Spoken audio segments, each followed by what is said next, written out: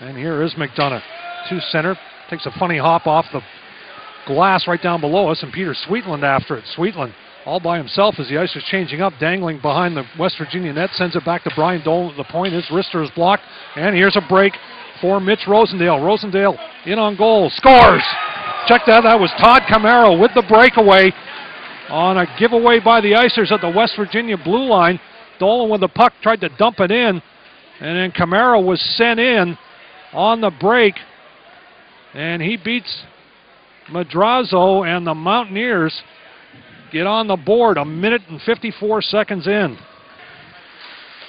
And then the Mountaineers dump it right back into the Icers zone. There's a shot whistled wide by Chris King as he won the race to that puck and tested Madrazo, but just missed the net. Friedman sends it into the West Virginia zone around to the far side to McDonough. Centered out in front, Longo with a couple of whacks at it, and he spun it just wide. Back to the point, Lux with a blast, and they score as McDonough finds the loose puck and shovels it home.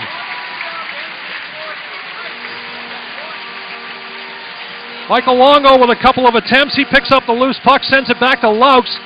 His shot, the initial save by Borky, and then McDonough Johnny on the spot to put in the rebound to tie it up. Jensen with it, fakes the shot, walks in, goes back door. Collins with a shot, scores. Wow! Kurt Collins rips it home. Power play goal makes it two to one. And what a great feed by Nate Jensen.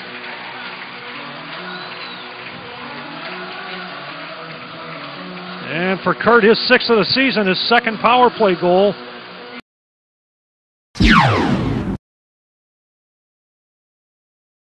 Under six minutes left here in the second period as Forrest Dell sidesteps a hit, sends it off Acker's stick into the Mountaineers zone. Tim up four, checking on Davis.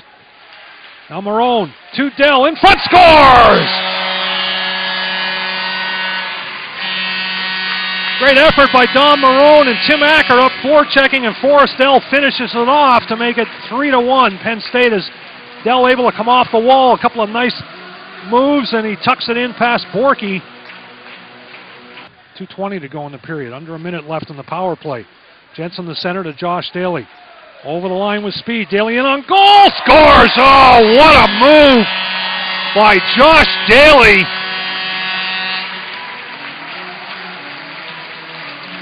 And a great feed by Nate Jensen, and this was all Daly from the blue line as he dipsy doodles in past Borky and just undresses the West Virginia goaltender.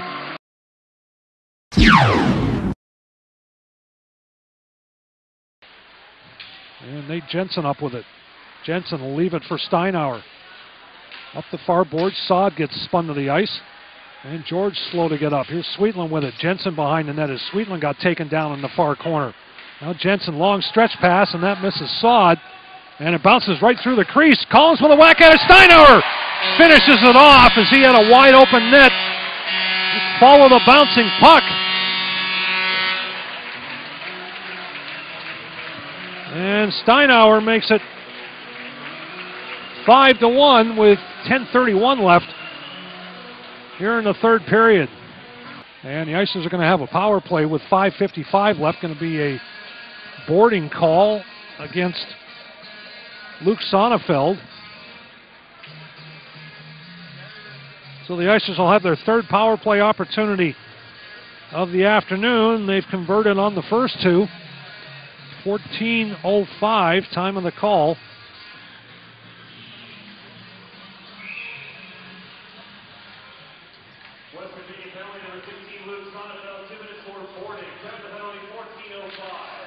All right, Icers on the man advantage. And there's a shot by Petrick, scores!